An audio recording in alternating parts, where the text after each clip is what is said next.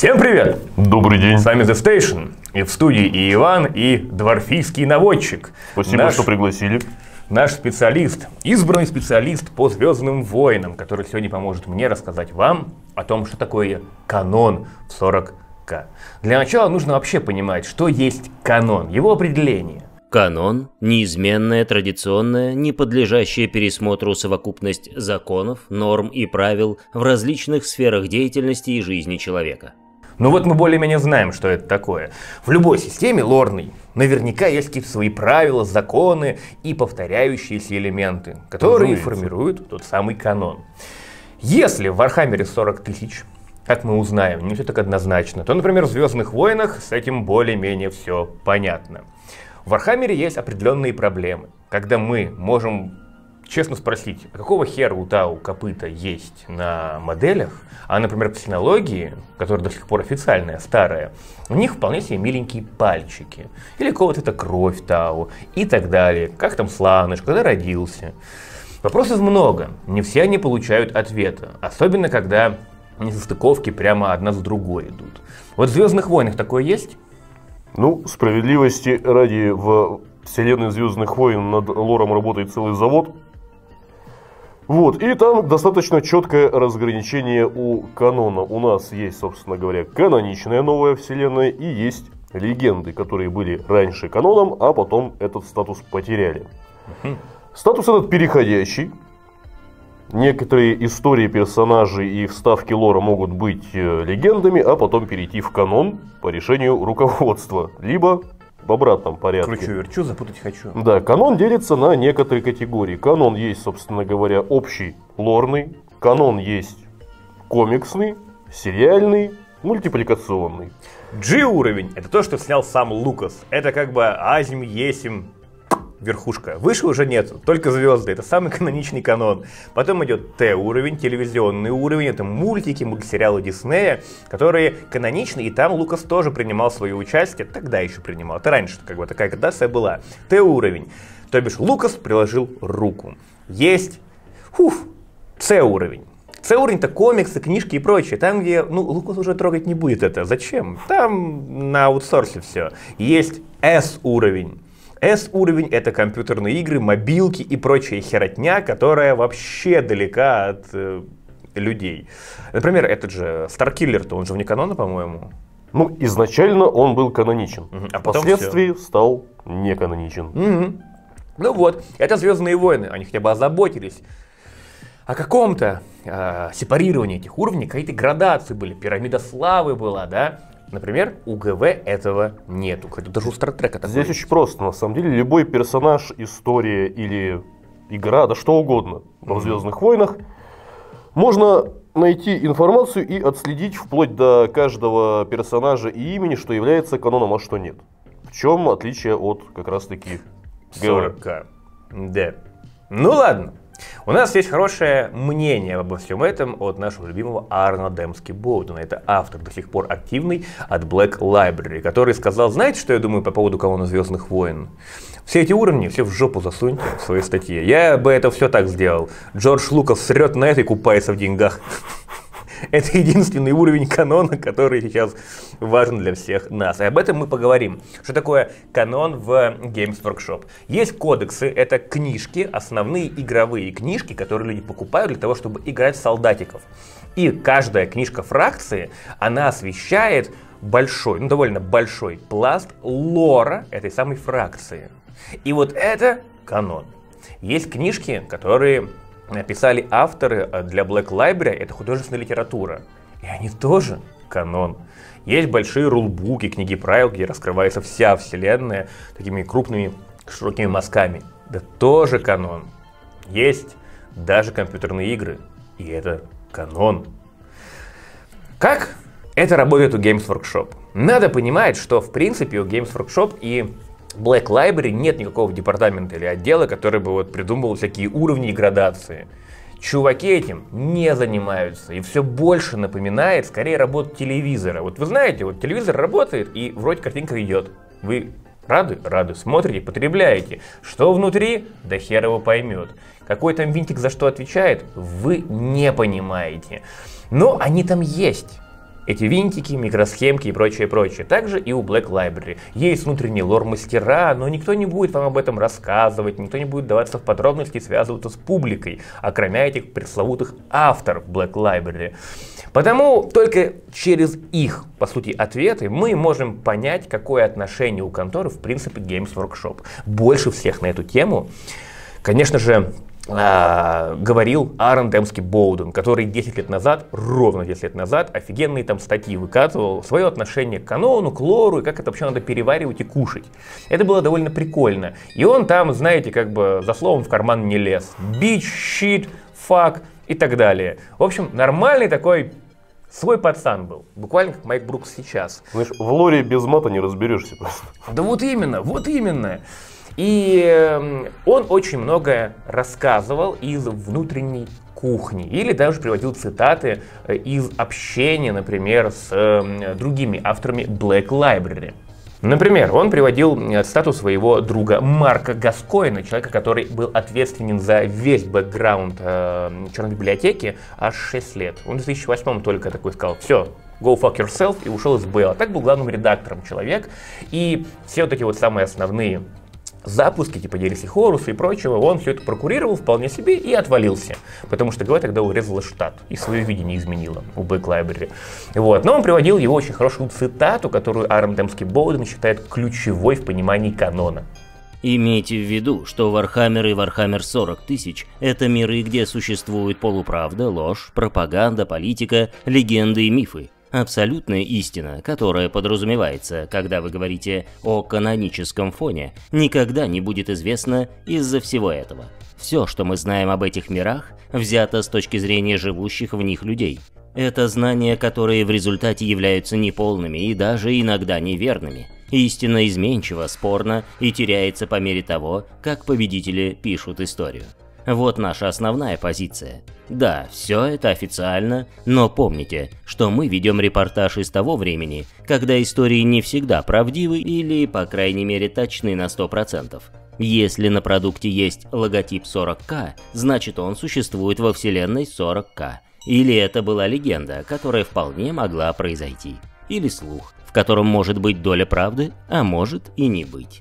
Скажем по-другому, все, что имеет логотип 40К, является таким же официальным, как и любой кодекс, и, по крайней мере, также переполнено слухами, искаженными легендами и полуправдой. Потом у нас есть Геф Торп, который также примерно смотрит на проблему. У авторов большой, большая нагрузка. Они постоянно что-то делают, делают, делают. Если мы берем Гая Хейри, там 5 книг в год. Когда мы общались с Петром Фихервари, он подмечал интересный момент, что э, вот я там делаю ну, одну в два года.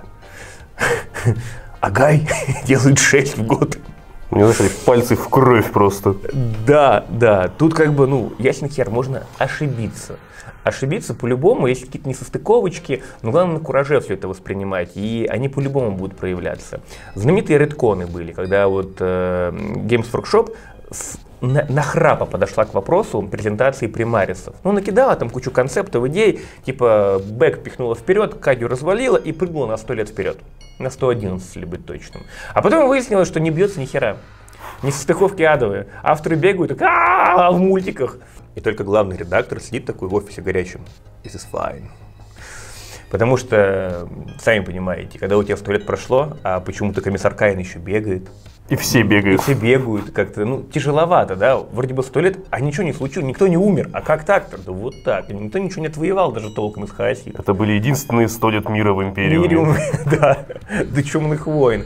И произошел редкон трилогия, ну, точнее, две первые книги трилогии Dark Imperium Гая Хейли были отредконены, немножко переписаны и переизданы, в которых даты были исправлены, некоторые слова подправлены, терминология подправлена и прочее, прочее, прочее. Редконы у ГВ, они редкие, они очень редкие. Это, по сути, был второй большой редкон. Первый был, когда мы потеряли компанию Eye of Terror. Именно в тот момент Абадон выебал Империум и развалил Кадиум. Именно тогда, не сейчас. 15 лет назад, он, даже 16, он ее развалил, успешно об колено сломал. Эльдрадо Эльтрана, Ультрана мы потеряли, он погиб в чернокаменной крепости, было грустно. Даже кодекс четвертой редакции Элдер, открываешь правила Эльдрада, которым можно было играть, несмотря на его статус покойника. Вот, а он говорил там, типа, вот так и так, так, только Яна Аринал там видит своего еще учителя, слышит и верит, что, возможно, он смог выжить в арпе, ну, душой, не телом. А потом все, пятая редакция, и такой, в смысле умер? Ничего не И знаю. вы такие поторопились. Поторопились, да, все, нет. Откатал. Это вот большой был редкон. По сути, вот перед нами был второй этап этого редкона. Все остальное так до сих пор и работает. Вам, наверное, тяжело это будет воспринять. Как так? Ну, вот разные какие-то моменты, противоречащие друг другу события. Неправильно. У одного автора болтер с гильзами, у другого без. Тут лазган с отдачей, тут без. Как быть-то? Темплары плюются, тут не плюются кислотой. Ну, на это есть ответ, например, у Геева Торпа. Как он смотрит на эту позицию. Совпадает ли взгляд конкретного автора на мир со взглядами отдельного геймера или читателей, это другой вопрос. Тот факт, что каждому из нас позволено завладеть этим миром и представить его в соответствии с нашим собственным идеалом, означает, что наше видение неизбежно иногда будет сталкиваться с видением других. Такой конфликт не делает ни то, ни другое видение устаревшим. В этом отношении задача авторов и разработчиков игр – освещать и вдохновлять, а не диктовать. Возможно, вы не согласны с изображением определенной фракции, или какой-то аспект их общества не имеет смысла в вашей версии мира. Вам могут не понравиться представленные ответы, но, задавая вопрос, вы можете найти решение, соответствующее вашему видению. Пока сохраняются определенные центральные темы и принципы, вы можете выбирать, какие части вам нравятся, а какие нет. То бишь автор, с которым мы общались, он действительно так и считает, что к Вархаммеру нужно относиться с позиции, скорее, представим, что мы живем там в сотом тысячелетии и копаемся вот в прошлой истории, в сороковом, давно же было это, господи, и как-то вот по, по крупицам информацию вытаскиваем, а потом хисторитеры сотого тысячелетия пишут книги об этом, а потом выясняется, что там хопа разрыли, опа, а там же, оказывается, Лазган-то без, это, с отдачей, который стрелял. О, все, надо переписывать. И новые книги будут уже о том, что Лазган стрелял с отдачей. И так далее, и тому подобное. Просто, знаешь, появляются исторические труды с исследованиями, короче, либо появляются всякие Фоменко-Носовские, которые просто конспирологию хуярят. Да, Там и да, болтеры, да. короче, стреляли бластерными зарядами. Во-во-во, это как книжка там, это худлит, полухудлит, этого Сенкевич, по-моему, фараон. То же самое. Вот написано об истории древнеегипетского государства. Опа, пораскопали, посмотрели. Ну, как-то уже не так смотрится книга актуальна, если честно. И то же самое в 40к. Это основная позиция, что это point of view, точка зрения автора. Очень хорошая цитата была по поводу а, Обязалова. Должно ли быть такое или не должно? В той же большой статье, которую рекомендую всем почитать даже с переводчиком, э, Боудена, да, которую он выкатил, в комментах залетел человек Энди Хор. Энди Хор, как и тот же самый Гэв Торп, это ветеран ГВ. Он Ага. там 25 лет сидит, вместе с Гэвом, рука об руку буквально, молодые горячие были. И сейчас этот человек не просто как бы горы или книжки просто пишет. Нет, он книжки не пишет давно. Он свое отписал уже. Все эти армибуки, кучу армибуков, кучу э, кодексов третьей редакции, э, три с половиной редакции.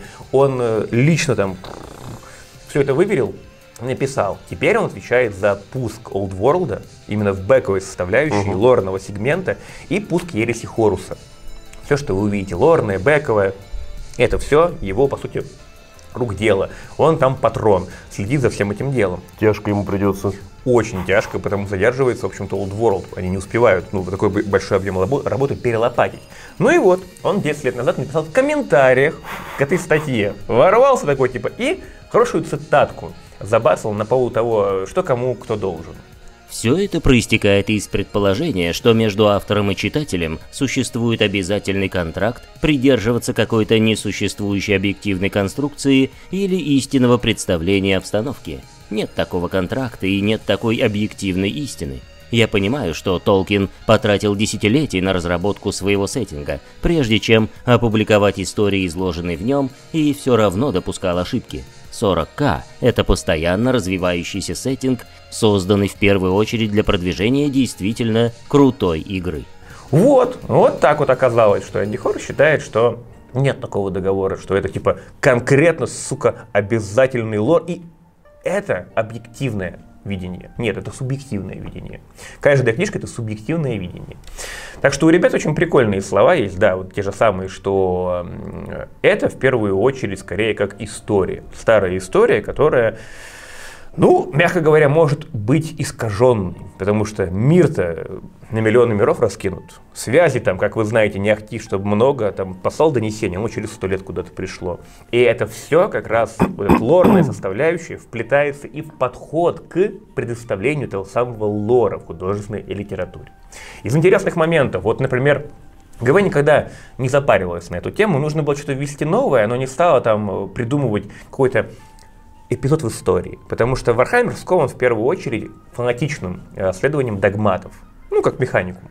Вот не было бы этого, было бы гораздо проще. Хоп-хоп, да придумали, блядь, это. А, вот недавно. Нет, такого сейчас нету. А, сложно впихивать новинки во вселенную, которая, сука, ретроградская полностью. Но с другой стороны, у тебя здоровенная галактика. Молодец. Да, можно сказать, что это там придумали, а если орден, тысячу маров, да? Ну, там же все уже, ну, вот, вот все, что было у них, все уже описали. Нет. ГВ просто говорит, да, не всегда были.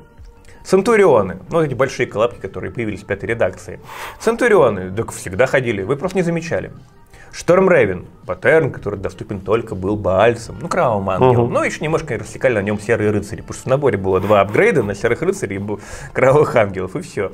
А как-то другим не завезли. Потом сказали, да завезли нормально. Давно уже всем раздали, просто не замечали, что налетали. Вот. То же самое и с парагонами, сестринские, новые, красивые, такие вот шагающие роботы.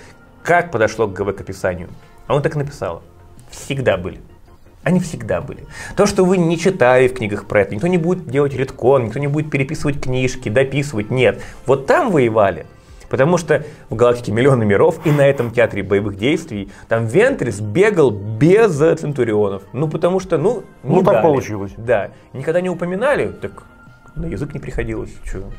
Слово не пришлось. И не Какой упомянули. смысл, да? такой, ну, бойцы ведут в атаку, у них могли бы быть центурионы. Но не было. Но не да, было. Да. А летаем мы на грозовых ястребах, громовых ястребах. Почему? Ну, потому что летают сейчас на этих, что Мрейвенов как бы вот не видели пока.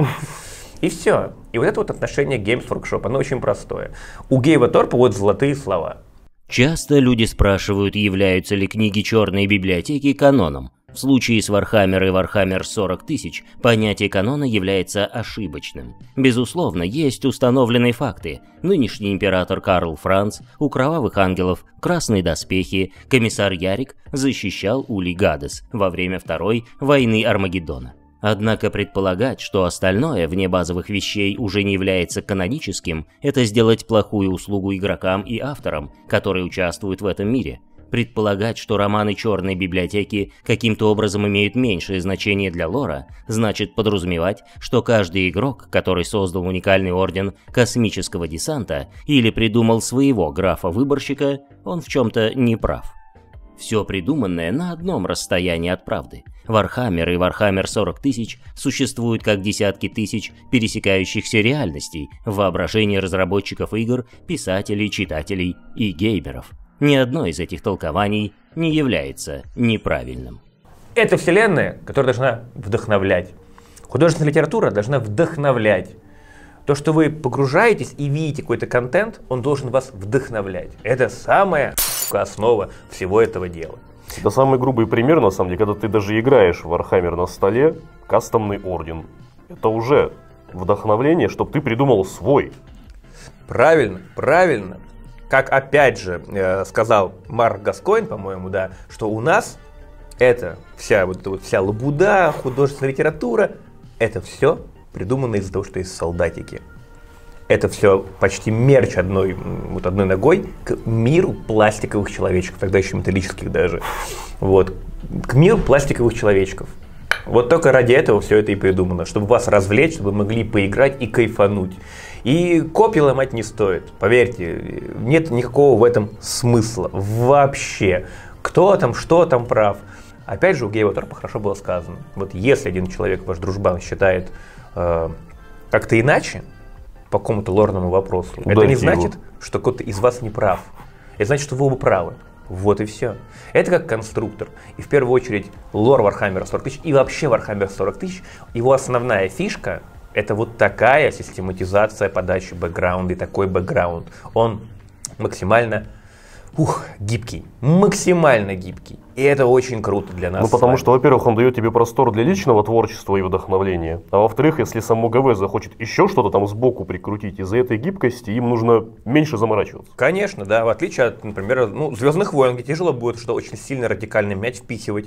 Да, у тебя очень странно, если у тебя рядом с Курусантом, оказывается, все время была еще одна планета, Нибиру. Долетела, да, с Земли пустили, с другой галактики. Вот, а тут все проще. А это отчасти послужило смертью, ну, условной смертью, трансформацией на фэнтези батл. Потому что тяжело было какому-нибудь мега бяку впихнуть в мир фэнтези. Так она все время там Где все холом... расписано, каждый кусочек вот, карты. Под, под холмом спала все время. Так что, блядь? А там Мега Гаргант вышел, да, откормили. Откормили. Вот такого нельзя было сделать. И ГВ нужно было это преодолеть, и они преодолели. Потому вселенные эти огромные, масштабные. Так что ждем, как оно будет дальше э, преподносить свой лор. А пока именно через авторов происходит все общение. И мы должны понимать, что все является одновременно каноном. Просто к этому надо по-другому немножко относиться. Канон 40 не равен не тождественен канону, например, в Звездных войнах. Это другое, это понимать ну, или надо. канон Властелина колец, например, где тоже все четко расписано. Это было уже вот в цитате нашего любимого Энди Хоуэра, который ну, я вот уважаю профессора Толкина, он там так и говорит. Уважаю его, что он там все расписал, но как бы я не хочу. Я вот так не могу. И он и то 30 лет расписывал книжки, он и до написания «Властелина колец» мир-то расписывал, и то умудрялся допустить ошибки. Ну, умудрялся, там есть пара вот несостыковок. Ну, потому что это все равно один человек. Конечно. И тут примерно такая же ситуация. Вы потребляете почти тысячу книг уже по Вархаммеру. Их почти тысяча по 40 штучнику. Come on. Это само собой огромный объем материала, и авторы иногда допускают эти промахи, но именно такое отношение к ним, как к истории, которая, по сути, разные редакции претерпевает. Сегодня вот так стреляют в Лазганов, завтра так. Надо понимать, что и то, и другое правильно – Потому что если мы относимся к себе как э, к зрителю из далекого будущего и смотрим на далекое прошлое, которое не имеет точных подтвержденных данных, или, например, вот каждая планета свою летопись писала, да? Что мы знаем о Древней Руси? Ну, как ересь, изначально же, как бы это, по сути, воспоминания были летописцев. Летописцев, да. Каждого да, да, через да, свою да. призму смотрел. Вот это было прикольно, если бы, например, мы писали, э, как бы, не то чтобы автор, даже редакцию, знаешь, как бы писали, типа, редакция под, не знаю, там, каким-нибудь Шелупеньку Иваном. Все. Это типа видение летописца Шелупенька Ивана.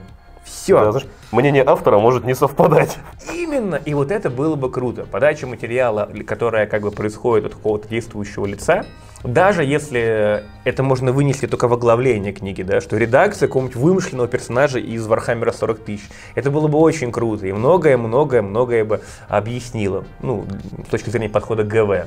Так что вот такие пироги. Надеюсь, в «Звездных войнах» нам будет проще. Или нет? Или там больше срача? Нет, там, а, а, знаешь, абсолютно равноценно. Ну, если так, то очень хорошо. Любая большая вселенная, будь то Вархаммер или Звездные войны, она всегда будет содержать либо несостыковки, а самое интересное, что даже если их нет, человек все равно их найдет. Это факт. Вот, вот это вот факт. Так уж мы это устроены, мы, друзья это мы мои. любим. А так ГВ пытался только один раз сделать э, какой-то шаг в сторону разделение, канон не канон, потому что супер старый бэкграунд, он супер старый, это правда, он отличается. Местами не очень сильно, а местами прям заметно.